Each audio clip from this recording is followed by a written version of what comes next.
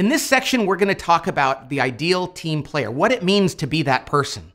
Because when it comes to putting together a team, if we can develop people with these skills and these attributes, or we can hire people with them, everything becomes easier. And there are three virtues that an ideal team player has. The first and most important is humility.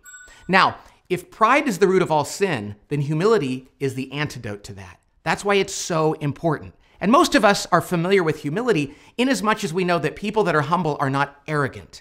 They're not ego centered. And that's true. And that is critical. Even in parishes, we can have people that struggle with their ego and it can destroy things, especially in a parish because it stands out so much. So we have to guard against this in the people we hire. And when we see people that have this, we have to love them enough to try to develop in them the, the virtue of humility. But there's another part of humility that's important to understand, and it's this people that lack confidence, that don't believe in themselves and believe that God has given them real gifts, they too lack humility. Because really, the defini- definition of humility is the adherence to truth. And if God gave you skills and gifts, to deny those is a violation of humility. C.S. Lewis once said, To be humble is not to think less of yourself, it's to think of yourself less. And that's what we're talking about here. Sometimes we see a person who lacks any confidence. And I've seen this in parishes, and we think she or he is very humble, when in fact they're depriving the team of their, of their good ideas or their talents because they're always denying that they're important or that they have anything to say. So we need to understand that. Ego and arrogance is not humility, of course, but neither is a lack of any confidence. So that's the first and most important attribute of an ideal team player. Something we need to look for when we're hiring, certainly, and develop in the people that we have. The second attribute or virtue is what we call hunger. And that's a work ethic, a, a, desire to get things done, a desire to have high standards and go above and beyond. Now, this is a pretty easy one to understand. It's sometimes not easy to teach later in life. And I will say in some parishes, it can be a problem. Some people go into ministry thinking that they're not going to be held to a high standard and they don't have to work very hard or have high levels of excellence. Now, that's so painful for those that do. And I think many people, most people go into ministry for the right reasons, but when they work on a team with people that don't share that, it can be so demoralizing. And too often we permit that or we tolerate that when really we shouldn't, because there's no work more important than what's done in a parish. So, hunger. Hungry people are those who go above and beyond, have strong work ethics, and don't have to be told constantly to do things. They don't do the minimum amount, they go above and beyond. That's pretty straightforward. The final and third virtue is what we call smart. Smart is not intellectually smart, it's interpersonally smart. I guess it would relate to emotional intelligence. It's does a person understand how their words and actions affect others on the team? And are they able to discern or notice when people are in a particularly different mood? Can they adjust their behaviors and actions? And do they know how to work well with others? Do they have common sense around people?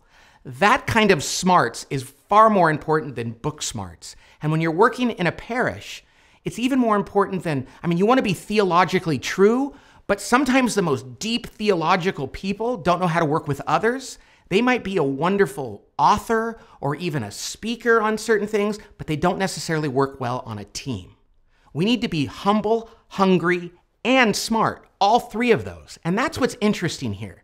If you're lacking in an egregious way, even one of these, there's going to be a problem. Let's talk about that right now.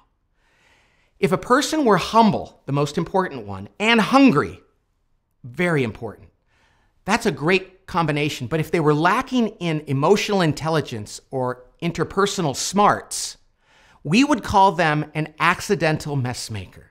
They have all the right intentions. They work hard, they care about others, but they just don't know how to interact with others and they often cause problems on the team. They're like that puppy dog that you have to clean up after. And they knock things off the shelf and break things, but they mean well and they're cute. So it's okay, but over time, it can be pretty costly. So, to the extent that we can hire people with emotional intelligence and help people that don't have that develop it, and it's true, we can take an accidental mess maker and make them an ideal team player. Let me say this I have great patience for accidental mess makers because their intentions are good. And in a parish, that's so important. What about a person that's humble, which is so important, and smart? They're really good at dealing with other people, but they're not hungry. They lack passion for what they do and high standards. This we call the lovable slacker. Now, because they're humble and smart, they're very lovable and fun to be around, but they're not necessarily putting out everything into their work. They're, they're leaving early or they're doing just enough or maybe a little bit less. Other people have to make up for what they're lacking, and over time, this can create resentment and frustration on a team. So we have to make sure that a person is really passionate and hardworking, and they're trying to do their very best. Even if they say, well, I could make more money in the private sector, what we would say is, well, you're never going to do the work that's this important. So not doing it well has greater cost and higher stakes than someone in another job. Okay, so we have the accidental messmaker who lacks interpersonal smarts. We have the lovable slacker who lacks hunger or the work ethic. The third is by far the most dangerous, and this is what we call the skillful politician. It's a person who's hungry, has ambition, and wants to work hard. And they're really smart, they're good at working with other people, they go to meetings and they behave well, but deep down inside, it's not about others, it's not about the mission, it's about them. And yes, there are people like this even in parishes. And it's sad and it's tough. And God help us to help those people learn to, to really embrace humility. And let's do our very best never to hire somebody who's really in it for themselves. But even in ministry, there's those rock stars that want to be important and they want to stand out. And they're not going to make sacrifices for their teammates, even though they're going to pretend that they do. The problem with these these politicians, if you will, is by the time we figure out that they're not humble, the damage has been done.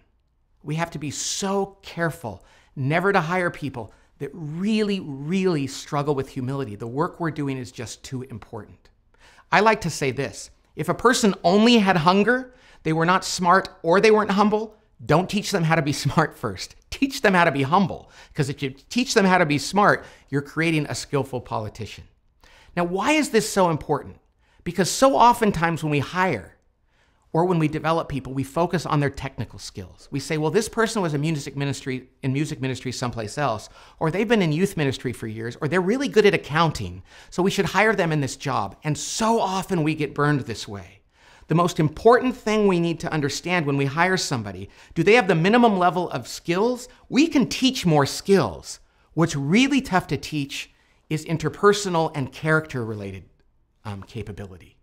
Hire for cultural fit, hire ideal team players, teach people how to do other things better. Yes, there's musicians out there with great passion, but have a little less skill than others, but because they're ideal team players, they raise up everyone around them.